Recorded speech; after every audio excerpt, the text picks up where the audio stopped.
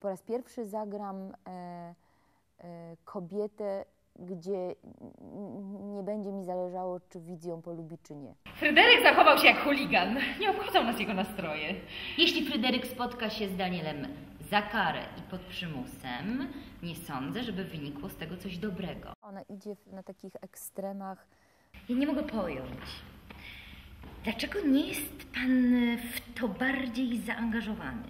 Jedno co wiem, to nie będę jej w ogóle bronić. Ona będzie po prostu wredna.